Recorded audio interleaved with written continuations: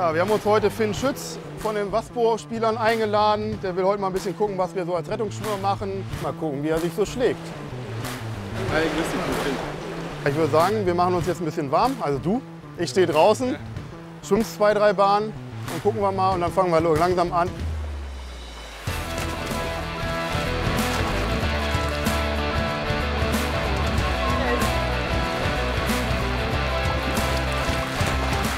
Ja, super. Jetzt bist du warm. Jetzt darfst du dir aus den Klamotten was aussuchen, was dir passt. Ich gehe von aus nur die größte Größe.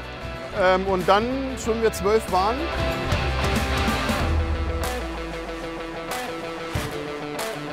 Ich bin mal sehr gespannt, wie sehr mich diese Klamotten hier zurückfallen lassen werden. Also das ist auf jeden Fall schon ordentlich Montur, die ich hier anhabe. Und ich hoffe mal, das wird einigermaßen äh, gut heute.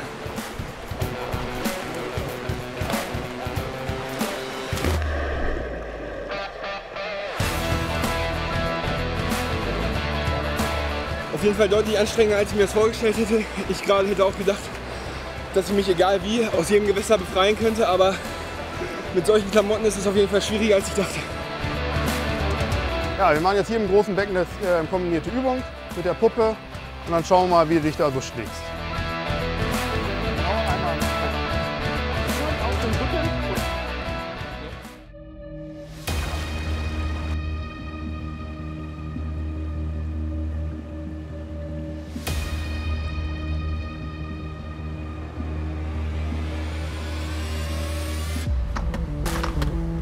Wasserwürgegriff und den Befreien daraus ist auf jeden Fall koordinativ, wenn man es noch nicht gemacht hat, anspruchsvoll und von daher bin ich froh, dass es geklappt hat.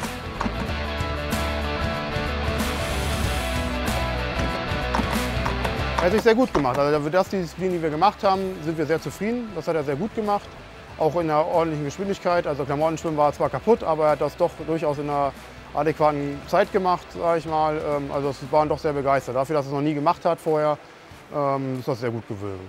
Das war so als realistische Übungssituation auf jeden Fall eine sehr gute Erfahrung und auch deutlich anstrengender, als ich es erwartet hätte. Also wenn man trainierter ist, Schwimmer ist, ähm, sieht man doch schon den Unterschied. Man hat das im Schwimmen gesehen, dass er, sage ich mal, mit im Klamottenschwimmen deutlich in der Geschwindigkeit relativ gut war. Ich glaube, es gibt viele Leute, die ähm, einfach wenig Wissen darüber haben und auch immer weniger Leute überhaupt schwimmen lernen. Und von daher finde ich gerade die Ausbildung zum Rettungsschwimmer ähm, ja, unabdingbar für, für die Gesellschaft.